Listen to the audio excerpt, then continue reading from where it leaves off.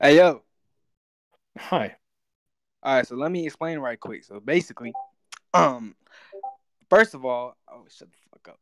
All right, so basically, first of all, I was uh, I still don't get the whole um history, uh, the trait of of having the same history parts. But before all that, I'm under the impression, right, from what I know, and I, I have a limited knowledge on this, so like, don't try to like quote me, don't hold me on nothing I say. But from what I know, if like, if it isn't it true, like, if it violates a law, then that's like an unsound or like or not unsound, yeah, like it's like an unsound argument or something like that. Mm, I don't know. Feel free to educate me on that, but No. So one thing that the NT tier can do um, is say, let's assume that the law of or that that let's assume that the law of identity is false. Does that break name the trait? And specifically, if we want to be very charitable to NTT, what we would have to say is, does let's assume the identity of indiscernibles is false, because the identity of indiscernibles or Leibniz's law is a little bit contentious, actually. And then they would ask you is, okay, let's assume it's false. What premise do you reject? And so if you wanted, we could start there. I can get someone with like that is able to type in the bot or show up the PDF. We could bring up the argument right now, and I'll just ask you, okay, I assume that the law of identity is false. Which premise is false? wait. So you- you're saying that you think the what do you mean by the law of identity is false? Yeah, yeah, yeah, but laws can be false. So, for example, I could say like, there's the law of Kayla going to McDonald's, and the law is just that I go to McDonald's every day at noon. Um, one day I go to McDonald's at three o'clock. The law is false. So laws can be false because laws. we're starting to get into like ontology of laws, and I don't want to go too deep down that, but laws are just something that we're using to describe a tendency. And the idea is that they should be a tendency always, but what it would mean for a law to be false is just that it's not always the case. So it's the case, but something else can cause it to be otherwise, and that would be the new law. And so what one could say, and let me know if at any point you have any questions, what one could say is it is coherent or at least possible that there really are two objects that have all the same properties. We could just hold that to be true. And I'm not using this in a nominal sense. I'm saying there really are two objects. And then the person running NTT could just say, I've granted you that. Now, which premise of NTT is false? Wait, wait, wait, wait. So repeat repeat what you just said, like the last two things. Yeah, so so they could just grant you the conclusion of your argument and then ask you how it makes NTT false. So the conclusion, as in, um, if all traits are equalized, it violates uh, Leibniz law. Yeah, so you, I can just grant you that. I can say, yeah, okay. what do you mean by that. break NTT? What does that mean? What do you mean like break?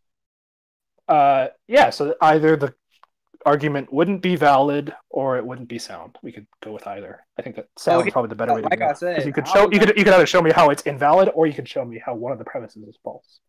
Okay, well, like I said, I thought it was just like if you if you violate, I thought this was like one of the like uh like fundamental philo- philosophy laws or whatever. So like I thought if you violate a law, it's Well- like automatic. It's like you can just discard it or whatever. Well, fun, funnily enough, Leibniz's law is contestable. Um, really, the reason I, I don't want to go too deep into ontology here because that wasn't the purpose of this debate. But in set theory, there's a variety of axioms, and the axiom of choice, um, which I'm not going to describe at this point because I don't want to get too deep into set theory because it's not what people here are for. But the axiom of choice is required for the identity of indiscernibles to be true. And so there actually was a period Okay. where the identity of indiscernibles was taken to be false. Again, the only thing that laws are are us describing something that seems to always be true. But we can have we can have counterexamples of laws right, ah, wait, wait, hold on, hold on, right? wait, like like for like for example, the law of gravity, right? The law of gravity doesn't hold in black holes. And so to fix that, we're developing things like quantum loop gravity or string theory or whatever. Like laws are laws are just with respect to either our empirical evaluations or in the cases of um, logic, they tend to be with respect to our rationalization. But Okay, well, my whole argument was based around it violating Leibniz law. So if you're just Sure. gonna tell me that violating it doesn't really mean that much, then I'm just I, I'm just like Well, I, I'm, at, I'm at the start line again. know I well, mean? well, yeah. So let me just say, like, we can. I can say it. do- I, can- I don't even have to say it doesn't mean much. One thing I could just say is, oh, that's interesting that it violates that. Could you now prove how NTT is false? I mean, so I haven't even. What do you mean by NTT is false? Because I haven't even seen the actual like syllogism for NTT. Like NTT is like Yeah, a set of questions. Wait, does the a consistency test. Oh no, Like, what no, no. NTT, NTT. There is a. Um, one second. I'm just gonna pull up the argument for us real quickly. Oh fuck. Um, the so there is a natural language version, and you've probably seen that one because they like to use the natural language version to make this argument. But the problem is, is that Ask Yourself and other philosophers uh, that he credits in this have formalized it, and so you actually do have to deal with. Does someone have like an image version of it? It's in like the form of a PDF, which sucks. Um, if someone can just post the syllogism, that would be wonderful. Wait, posting a. Yeah, I'm just getting someone to post the Yes, yes. Okay, ask yourself is clarifying that he does not see himself as a philosopher, but in, in this, that so Wait, so NTT to has been. the no, no, no, no, no, no, no, no, no, no. There's okay, yeah. So there, you see that yellow box? That is a that is NTT in premise and conclusion format. and so and so and so what I'm going to do is one second. I'll just add in a P3.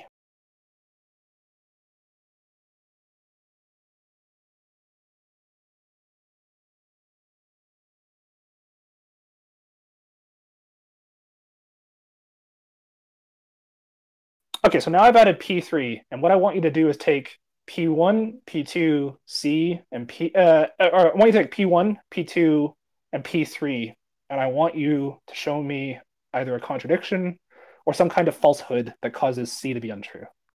So if you can show me a contradiction, then the argument obviously um, won't be tenable.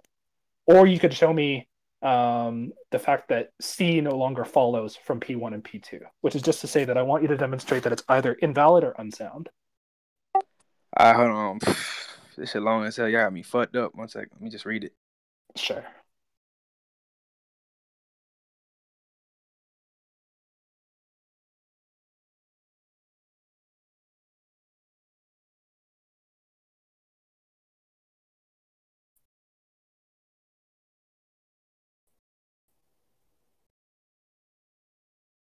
Wait, what does it mean that then your view can only deny the given non-human animal has moral value on pain of P and negation P? What does that mean? Well, what that what that means. So this is in some of the cases, it's good that you're asking questions rather than just hopping to conclusions. I like that.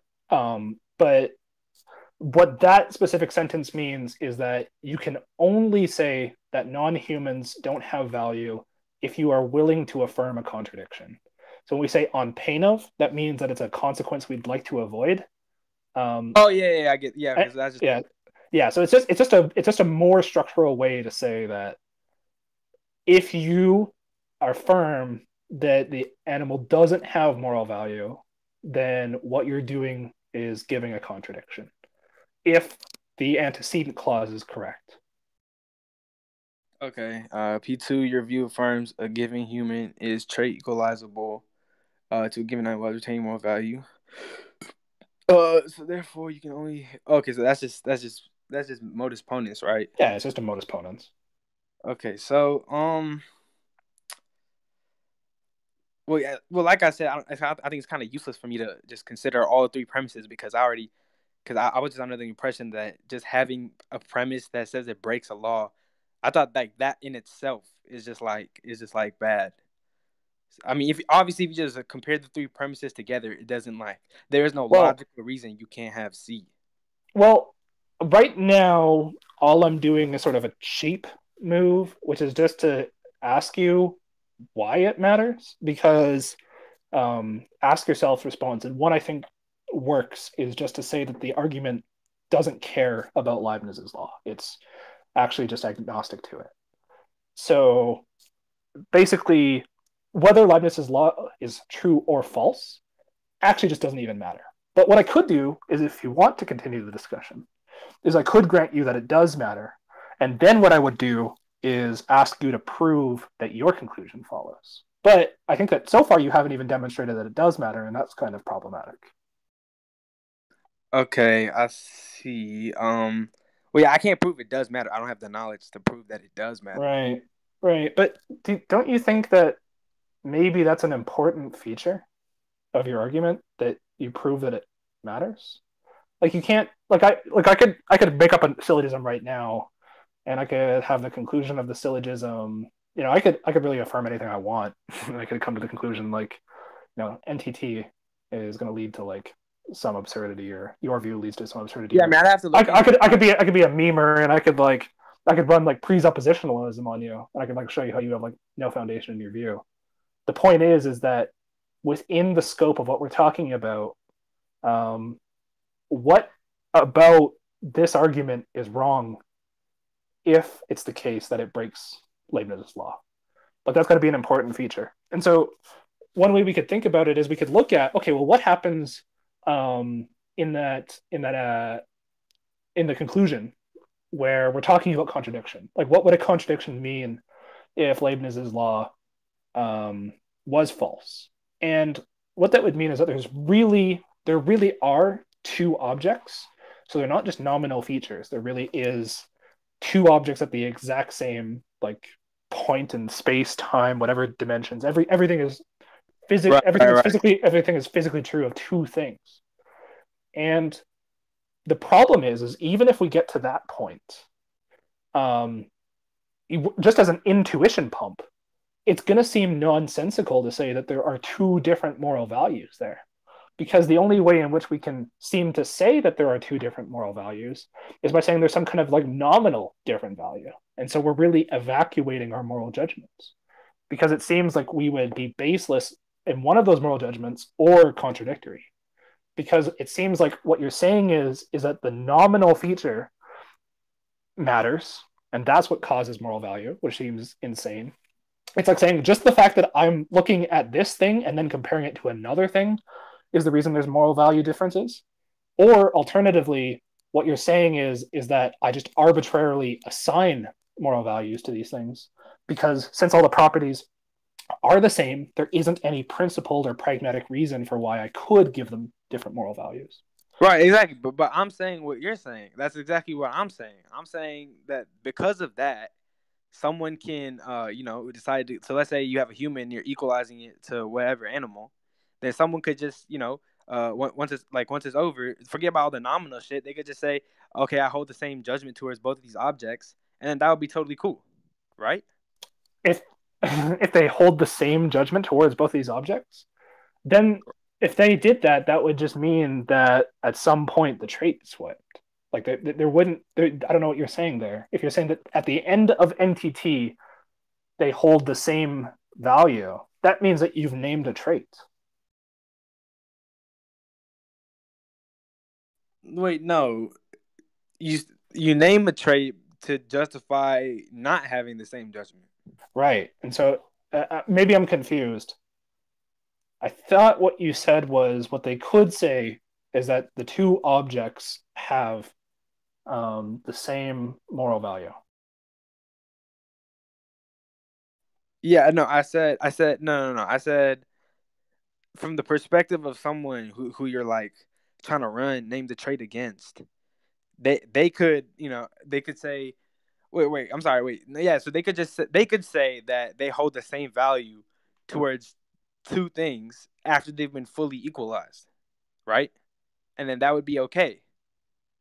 That would yeah. Be... They they, right. cer- they yeah they certainly they certainly could do that, but th- that, all that's going to mean is that you named a trait. Because at some point in this, and at some point, if the moral value swaps to being identical, that means that you've named the trait. Oh, okay, yeah, because they started off with having different values. Right. Yeah, absolutely. I mean, if, if we were trait equalizing two things that had the same value, that would just be like a like exercise in futility.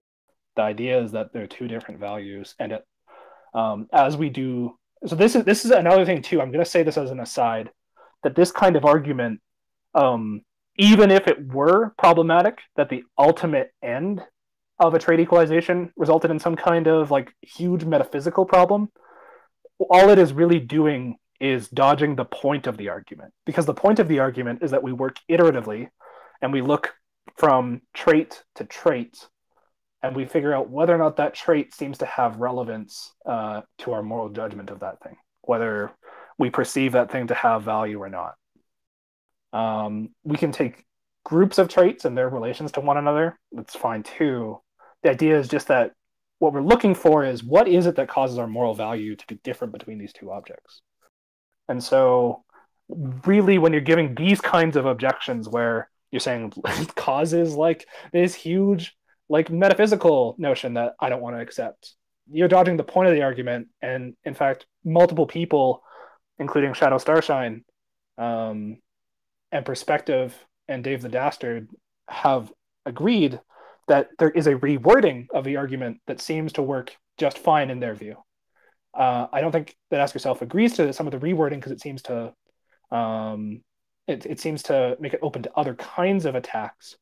But there's a clear intention of the argument that's just sort of being dodged if you go this route.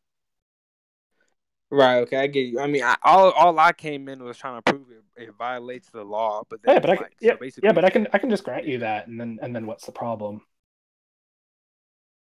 Well, no, there is no problem. Well, there yeah, is no problem. Yeah, but but but uh, one thing too is I don't want us to totally go down the idea that I am just granting it to you. Um, if you understand that there's no problem, and if you understand that what they're doing is just sort of engaging in motivated reasoning against the argument, and that they're that people who do this seem to be sort of aware that what they're doing is motivated reasoning against the argument rather than engaging in what it is trying to do, which would be charitable. Then what we could do is we could get into the problems with the argument uh, that was presented in favor of it violating the law of identity. And the big thing that I saw very frequently, uh, his phone died.